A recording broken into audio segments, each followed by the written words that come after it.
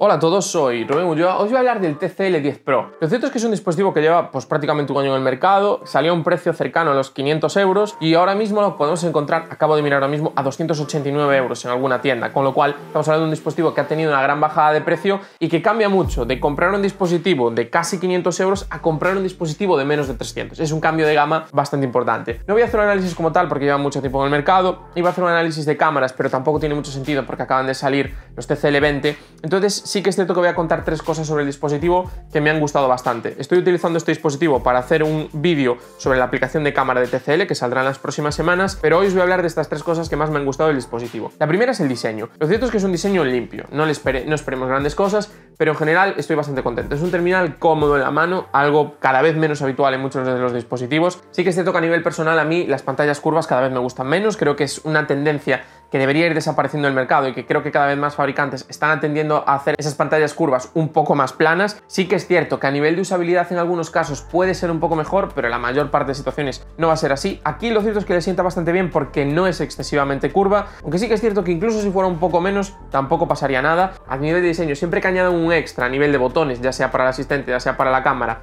ya sea para lo que sea, es bueno porque si lo quieres usar lo usas y si no lo quieres usar simplemente no lo usas y ya está. Aquí tenemos un botón para el asistente con un rayado que ya hemos visto en otros dispositivos de TCL, es un poco la seña de identidad de la marca y está bastante bien. Y por último, lo que más me gusta del diseño, que tenemos un módulo de cámara que no sobresale del chasis. Tenemos un chasis muy fino y además el módulo de cámaras no sobresale, con lo cual en ese sentido muy bien. La disposición horizontal no es muy habitual, pero aquí ya es un poco a gustos. A mí personalmente me gusta, con los dos flashes uno en cada lado, me parece muy bonito, me parece un diseño muy buen trabajado por parte de TCL. A ti te puede no gustar, pero lo que es a nivel de fabricación y a nivel de acabados, hay que reconocer que para un dispositivo que ahora mismo está a 289 euros es realmente increíble. Además de que es mate y se nota mucho menos las huellas, algo que realmente me pone muy nervioso. Si habéis visto más vídeos del canal ya lo sabréis. El siguiente punto, como todos los dispositivos que he probado de TCL, es la pantalla Next Vision. En este caso tenemos una tecnología AMOLED con Next Vision, es una tecnología propia de TCL que tiene sus televisiones y lo que nos hace es mejorar mucho más lo que es a nivel de color y a nivel de contraste. Especial cuando hacemos fotos, cuando vemos fotos, cuando hacemos vídeos, nos activa este potenciador de color lo cierto es que tenemos mucha intensidad de color. Puede ser a veces excesiva, pero bueno, lo cierto es que le da un punto de contraste y un punto de color a las fotos que es difícilmente igualable en pantallas de este precio, 289 euros, repito. Y además tenemos un buen nivel de brillo, buenos ángulos de visión, quitando esos problemas de la pantalla curva que ya sabemos todos cuando llegamos a ese extremo, que se vuelve un poco púrpura, un poco verde, pero bueno, en general bastante contentos. No es la mejor pantalla del mundo, pero sí que puede ser quizás la mejor pantalla por 300 euros. Solo le falta un pequeño detalle, es tener una tasa de refrescos más alta, pero lo cierto es que casi a veces prefiero un panel AMOLED de 60 Hz muy bueno como este que un panel LCD realmente muy malo de 90 Hz. Y el tercer punto para acabar es una cosa muy concreta y una cosa muy específica que es el modo de vídeo nocturno que tiene la cámara. A ver, sé que es una cosa muy pequeña, sé que es una cosa que va a usar muy poca gente y sé que en realidad es una cosa que no tiene tanto uso porque el funcionamiento es regular tirando a mejorable. Lo cierto es que es un pequeño detalle que un fabricante como TCL, que muchos la verdad es que seguramente los conozcáis, que es un fabricante que no está muy metido en este mundo y que parece que el tema del vídeo nocturno solo se han atrevido a decirlo y a comentarlo como tal Oppo y Xiaomi, que TCL lo haga es realmente bastante interesante porque creo que es un poco la próxima tendencia, ¿no? Primero fue el modo noche en foto y ahora tocará a ver quién es capaz de hacer un modo noche similar al de foto